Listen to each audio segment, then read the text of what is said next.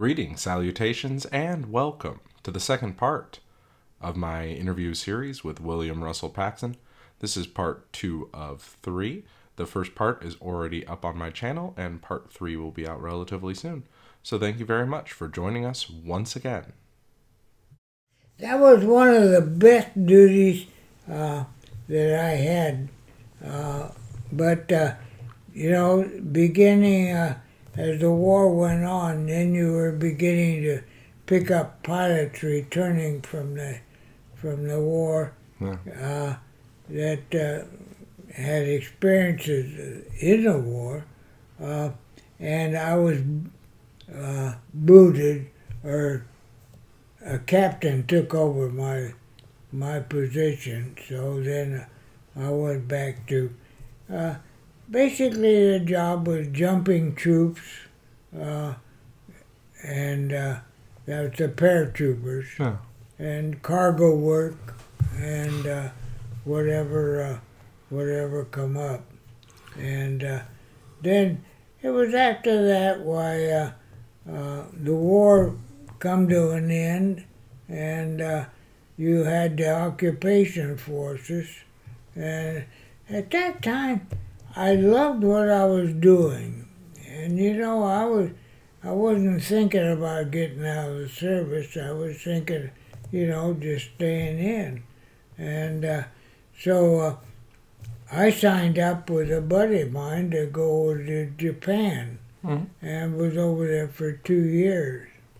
Now, out of that whole experience, I really, really kicked myself because I didn't learn the language. Because uh, uh, I could pick up uh, uh, pick it up pretty fast because it's kind of guttural, very strong. It Japanese. yeah, it isn't. Uh, what do I say? It's Delicate. smooth flowing like Yeah. Spanish or French. French is is uh, one language just goes flying through my head, and I'll tell you, I can't distinguish uh, anything in the way of a word. So, you know, without too much trouble. And then I had, uh, while I was in Japan in two years, uh, I was assigned a, uh, an extra position of being the fire marshal on the base.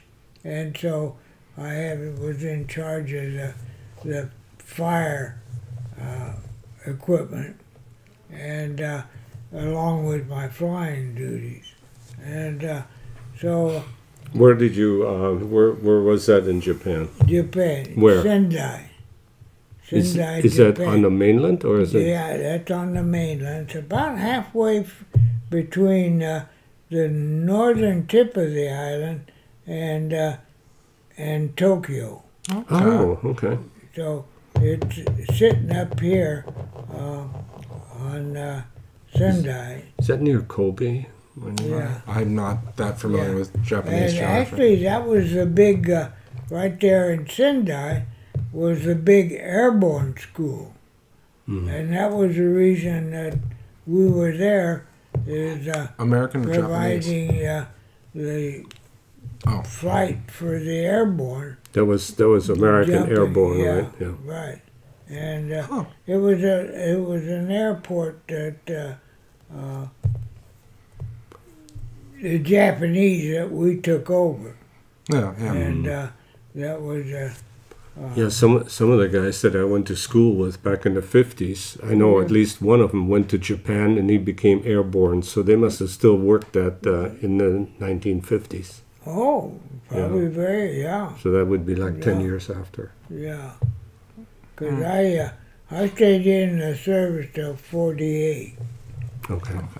and uh, so that was probably still yeah the what was that airborne group You know, I, I Well, remember. just, uh, doesn't uh, uh, huh. You know, I remember the guy coming back with a screaming eagle patch somewhere, you know, whether it was on the arm or so, you know. Yeah, but uh, I know it. Uh, it was interesting. Uh, uh, to uh, be. Now, some of the pilots, now we had, you know, some of the pilots actually went to the, well, right there at the school where they're learning how to be airborne. Mhm. Uh, a couple of, five of the pilots that I know of uh, went through the school too while they were there. And they actually presented them with the, the airborne wings. Yeah. And uh, so, uh, but you know, uh, I wish, and I still do this day, wish I'd have joined them. But I had a terrific fear of not so much the jump as my, how would I handle if I froze at that door and just wouldn't let loose? and I just, that just meant too much to me. I Yeah, just that, couldn't. that can happen. I couldn't. Uh, I couldn't handle uh, the, the ridicule that I'd get uh, if I froze at that door, and uh, but I was just so. Well, that I, was I think what- they helped you a little bit, didn't they? Yeah. No. Well, they. I know they have a the. Uh, uh, I know. I heard two stories. Uh, one one of them was uh, this uh, to get the uh, jump master to get him. Uh, uh, you know, to what would you say? To get even with him Mm-hmm.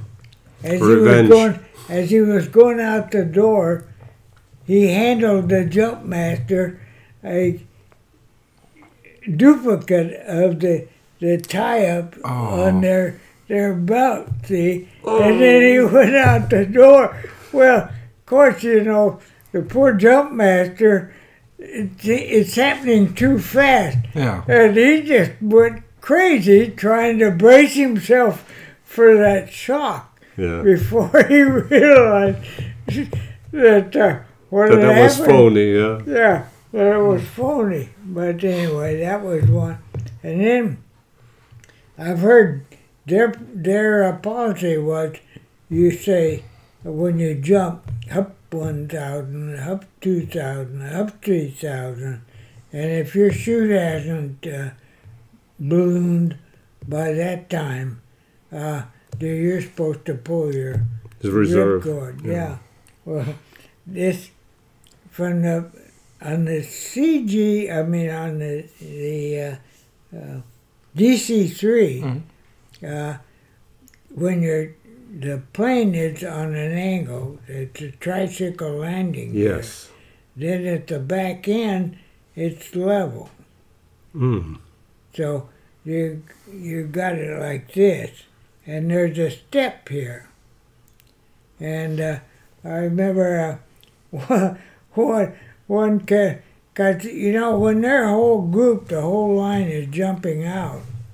Uh, the first guy is going, but as the the, the guys behind are shuffling, the last guy that comes there, he's almost level when he goes out the door. It, it was interesting, but this one of the one of these guys missed the door, and he went back on in that on that step part, and yelled there up one thousand, up two thousand, up to, and pulled the ripcord right, and he's still in the plane. Oh no.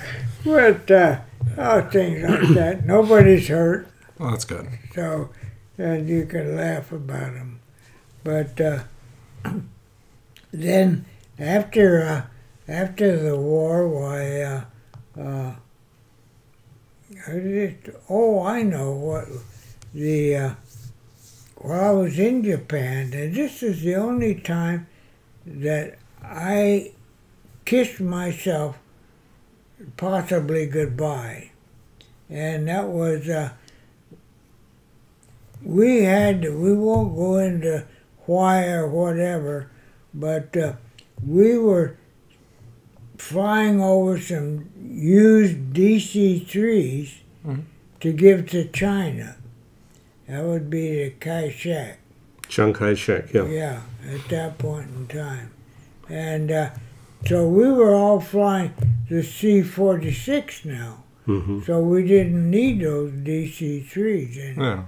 Yeah. And so I was picked to fly one of them, along with with a co-pilot.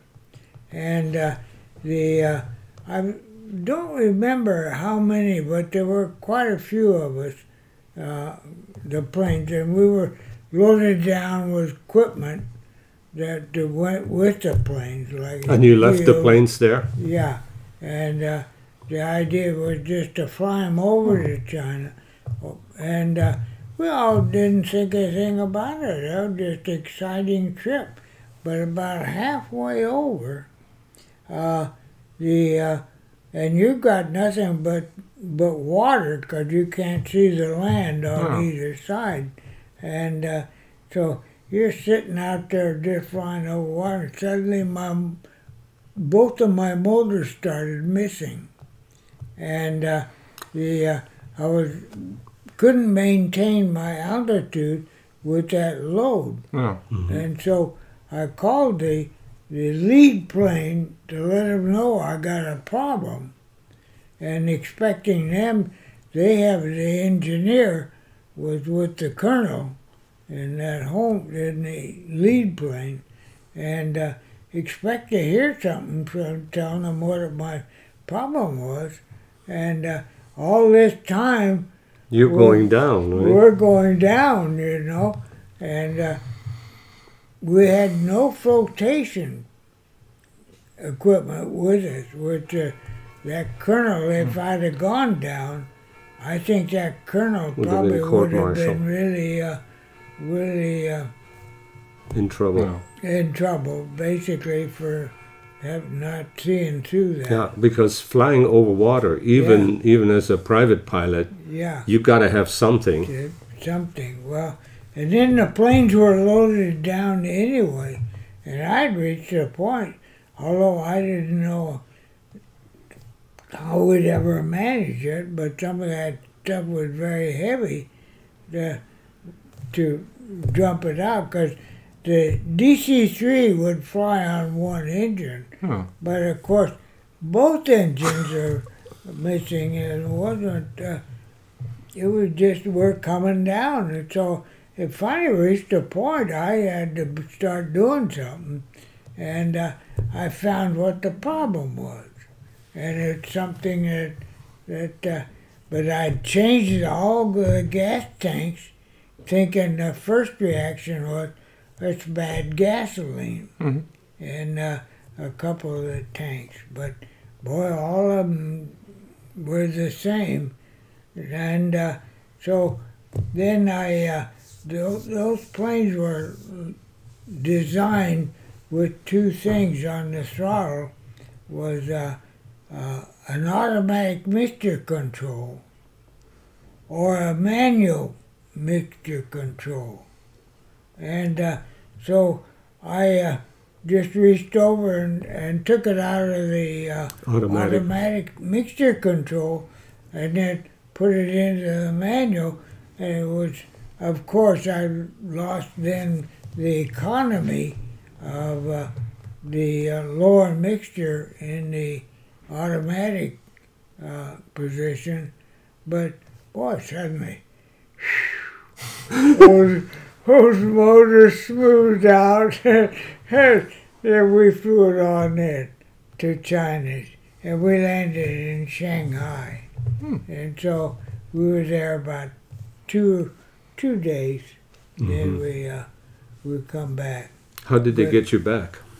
Uh, one they had one plane that would bring Take everybody back. Yeah, that would come back. And uh, the uh, anyway, it was uh, it was an experience. But that, that basically my time. I was just no hero. There was I never had the opportunity or the occasion to be a hero. Uh, all of my assignments were nice and safe here in the in the uh, in this country. Yeah. But it's all important work. Yeah, Oh yeah. and uh, except uh, like I said, the on, that's the only time that I really, uh, you know, really possibly Could have, yeah, could have Yeah. bought you lunch. Yeah, I could have uh, gone in, but uh, It's a hell of a story, Russ. I mean, Yeah. altogether, though, you know, it's really right. cool. well, it was. But uh, anyway, I was a, a rank behind, and so I had just uh, had reached a point where I was beginning to receive uh, positions of responsibility, Mhm. like a, a flight would fly uh, uh, some of the planes up to Hokkaido, uh, the northern island of Japan hmm and uh, that that's a beautiful area up there because it's a different type of farming. Did they have They- snow up there, I think? Oh yeah, lots of snow, but uh, the uh, it's like it's like you call it you'd call it a a midwestern farm with a silo and a barn and Oh, wow. cows and Yeah, yeah. and pigs and chickens are running around. It was a different type than in the main island, which is my major is rice. Oh. Uh, that uh, is the uh, thing. Yeah, the But- major food supply. yeah, Yeah. so Oh, growing. I used to enjoy Hokkaido. Then also, that was uh, uh, the start of at that point in time where you know you no longer depended on the quadrant and the signals No. of the A and the N. Now they've got you on radar, uh, Mhm. and uh, some guy sitting behind uh, in front of a uh, a dial and uh, can talk you in. And Hokkaido had one of those. I see. And uh, so every time I had an opportunity to, to fly up there, I always call them in and tell them uh, to uh, pick me up and, and Guide you in. yeah, 'cause I'm flying blind. Yeah. And so uh, they put a hood over uh, so I can't uh, see anything but my But the instrument. instruments, yeah. Wow. And uh, then you're sitting there listening to a guy on the telephone and says, you're five foot above your guideline. So you don't have ten to- foot, Yeah. or you're ten, a little bit to the right, or a little bit to the left. So you don't look at the lights, you know, the landing lights? That, No, no. Wait, just, where you go green or red? and- Yeah, you just sit there and you're listening to this guy talking you in, and Oh, then uh. I'd have the the co-pilot take the wheel and you look out, and you're right on top of the numbers at the airport. If you cut the throttle, you just hit. That's Uh, that's the perfect landing on the numbers, oh, right? yeah. it just was amazing, and I always, uh, although every chance I got, wherever I was on the uh, visiting or where there was one, uh, the uh, link trainers that uh, you know, you're practicing your blind flying Mhm, into uh, combing in on a on an area. Uh, and I, I really felt comfortable uh, Under- on under the hood, blind yeah. flying, under the hood. Yeah, That's but why did why did they make you do that? I'm, uh, Oh, you it didn't make me. I volunteered. oh, okay. Yeah. Although, uh, because I, who knew? I just every chance I had, you uh, took. and it paid off. Like I said, I just felt relaxed Hmm. under the hood. You can't see anything, just your instruments, Hmm. and uh, it's amazing. Uh, this thing called vertigo, where you can be looking at be freezing on one instrument, and I know this uh, this happened when I was flying uh, in training, in uh, advanced training, and uh, the uh, I think it was called an AT-17. I know it's not the B 17, hmm but the AT 17. I think it was a twin engine trainer.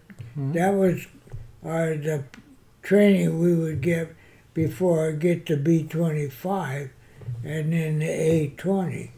But uh, the uh, and that was a graduating plane that I was uh, flying, and uh, the uh, I know to instrument practice uh, they had a hood that the pilot and the co-pilot would be your eyes, Hmm. and uh, then you go up and fly, and uh, I had this uh, one student along with myself. I'm a student too, uh, and I'm just watching out for him. Uh, suddenly, the plane just starts going in a circle, and uh, I could wake it up or shake it, but I just wondered if I figured what had happened was he was in a state of vertigo, froze on one instrument that's telling him something, and uh, so I just let him go, you know, and we just were right down to the to the bushes before I finally took over, and he would have thrown us right into the ground. It was hard to believe that that could happen. Yeah, it's. Um, I think something like that happened to my flight instructor. He Uh. was. Uh, he had a student who was a, uh, um, a a priest, Yeah. and something happened to him. He flew him into the, the hills of the. Um, I mean, into a mountain in, Ch- in Chino, right Oh. off of Chino Oh. Airport, Uh huh. and uh, messed him up so bad that he died. You know. Oh, oh. But something similar must have happened that the, the guy Yeah. because he, we had heard what had happened is that the student froze on the controls. Oh, okay.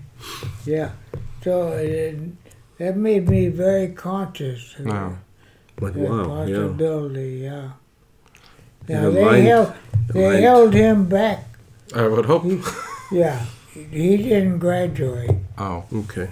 so they held him back. And Yeah, yeah. now whether maybe they washed him out, uh, or maybe he was able to prove that he could still do it. So, uh, Russ, so did you have better than 20/20 eyesight? yeah. Yeah. had 2020 in one and and uh, the other one the other eye is a little bit stronger Yeah. so uh, the, I had a friend that uh, that when we were kids, yeah you know, he would say, "Oh, look at this airplane." I couldn't see it, you know, but he saw, saw this airplane up and down. yeah I thought that was amazing. yeah good.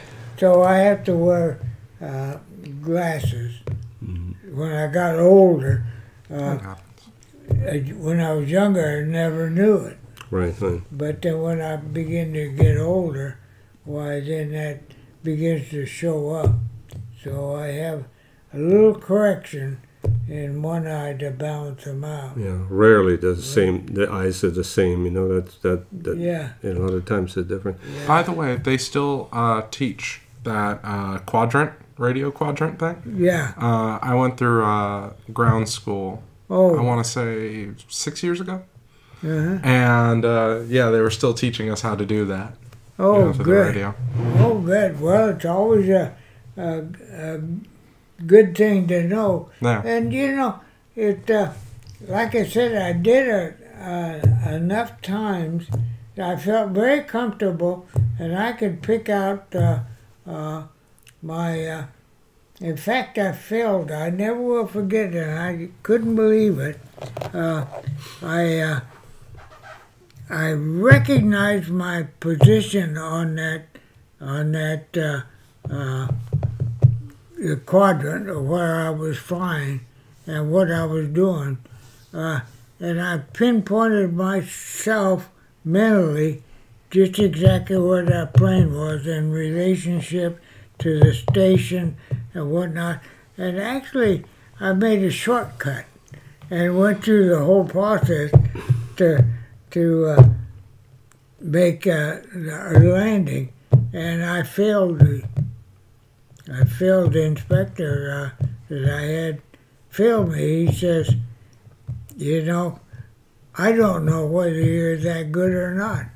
He says, because you didn't follow any of the The protocol. huh? protocol on on just what you should be doing, and uh, so uh, and I thought I was a smart ass for being being so quick, and so I figured he'd just sign that off and I'd be on my way. But boy, he was a he gave me an eye opener, Yeah. and uh, that was uh, that was the same thing. You know, it's interesting. I tried to uh, once I had gotten through uh, the flying on that uh, school CPT uh, civilian pilot training that was through the schools and uh, where I learned how to fly. But as soon as I did that, then I went to the Navy to get into the uh, naval aviation.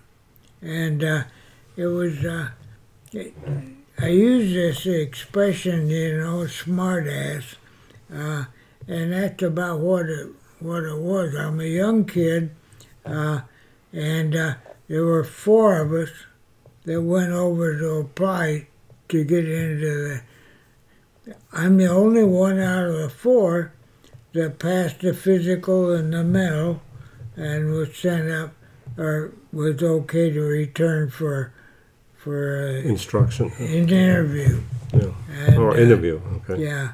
Or uh, anyway, I uh, I went into that interview with these striped officers, and uh, they had uh, quite a few stripes, and uh, you know, chewing gum, Smart ass. Yeah. and uh, the uh, you know, God, the Navy couldn't do without me. Uh, I was I, I was going to save the world, and uh, man, it didn't take those guys long at all to say we can't use you, and uh, boy, was that an eye opener. Wow. Oh man, that was my first real, real lesson. So uh, I just uh, Overconfident. yeah, just uh, totally.